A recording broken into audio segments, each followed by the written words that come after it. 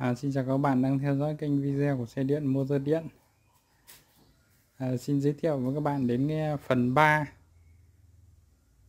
à, Bộ chế xe 4 bánh à, động cơ xăng.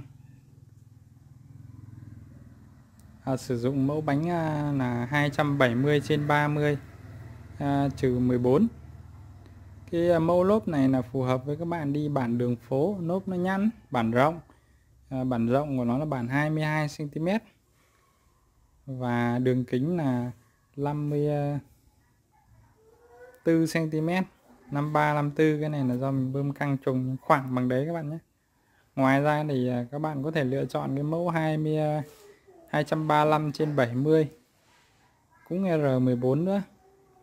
Thì cái à, mẫu đấy là đường kính của nó là 52 51 cm đường kính 51 bản rộng 22 các bạn nhé. Còn con này là đường kính 54 bản rộng 22 Đấy.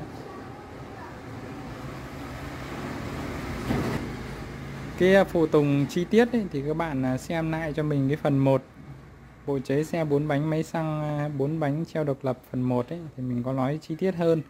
Còn cái bộ này mình chỉ thay đổi mẫu bánh để cho các bạn có sự lựa chọn phong phú.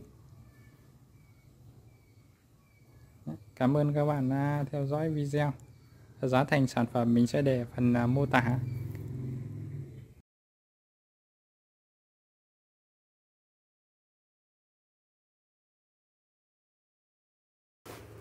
À, bộ này thì à, sử dụng phanh dầu dành cho bốn bánh. Đây là phanh dầu cho cầu sau. Còn đây là phanh dầu cho cầu trước à, hệ thống treo này như các bạn đang à, theo dõi đấy. Thì à, nó có chữ A. Và giảm sóc phần đằng trước. Còn phần đằng sau thì à, hệ thống treo lò xo cái này mình đã phân tích những cái ưu điểm cho nó à, cụ thể. Các bạn à, xem ở cái video sau của cái video này. Sẽ có cái hướng dẫn lắp đặt chữ A. Và hướng dẫn lắp đặt cái à, càng chữ A trước. À, số lùi thì à, có trang bị một bộ số lùi chủ ca đăng.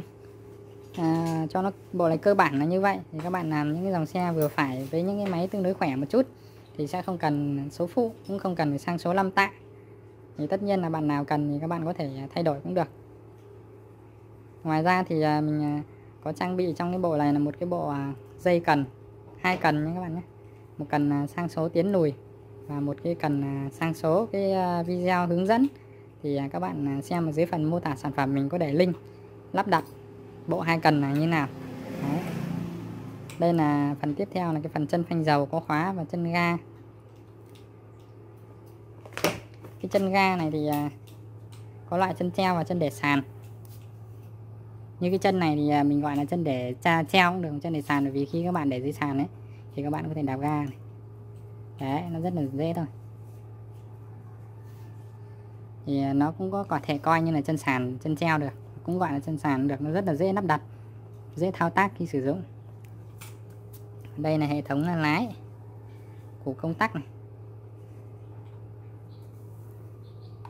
Đấy, ổ khóa này ốp nhựa này công tắc này vô lăng thì à, đường kính 37 cm các bạn xem thêm chi tiết thì các bạn xem ở những video sau của cái video này nhé. Thì các bạn chú ý mình sẽ đăng lên cùng video các bạn xem còn à, các bạn nào có mua thêm ghế thì đây có ghế trượt gập này và ngả này. Ngả thì ngả 180 độ gập thì gập à, khoảng 30 độ gập gần hết. Đấy, chứ chưa gập gập bằng được.